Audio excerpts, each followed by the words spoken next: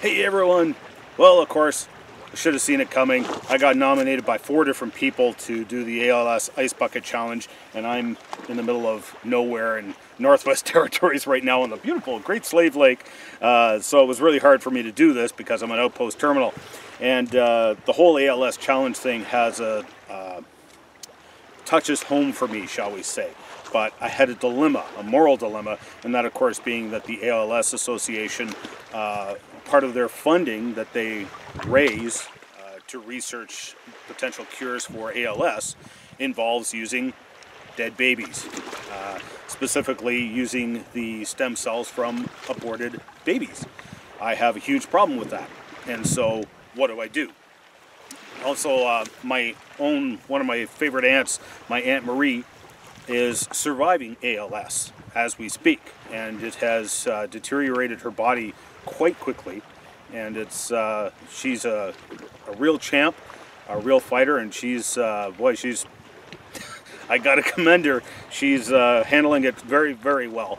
Um, considering the challenges that ALS proposes. And uh, one of the people who challenged me, Eddie Reed, uh, his uncle Jim also has ALS. I didn't know this until today. He mentioned it when he was the fourth person to challenge me to do the ALS Ice Bucket Challenge. So what to do?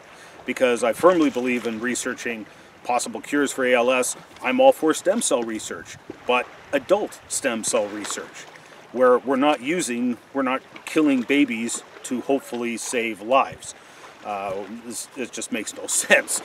So, I did a little bit, a little bit of homework though.